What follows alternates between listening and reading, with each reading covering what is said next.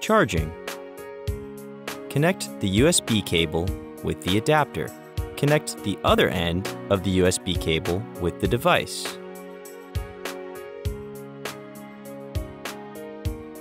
Start charging.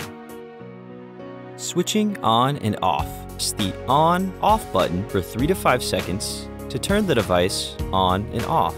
A blue light should flash to indicate the device is turned on. Press the on-off button for 3 to 5 seconds to turn the remote microphone on and off.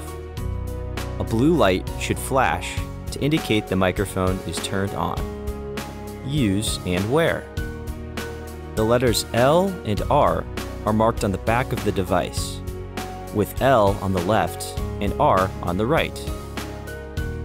Wear the device on the neck in the direction indicated by the letters. Gently insert earplugs into both ears.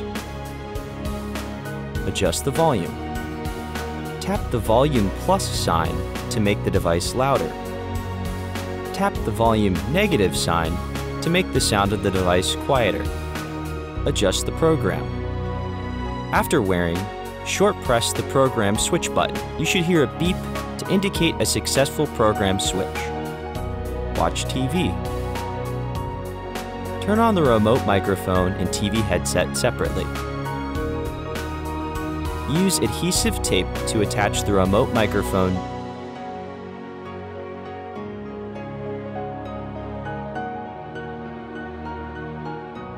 near the TV speaker. Or use a 3.5 millimeter audio cable to connect the remote microphone connector to the TV audio interface. Wear the TV headset.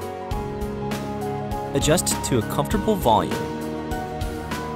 Switch to Program 1 and start enjoying TV programs. Use the remote microphone with a mobile phone. Wear the TV headset and turn on.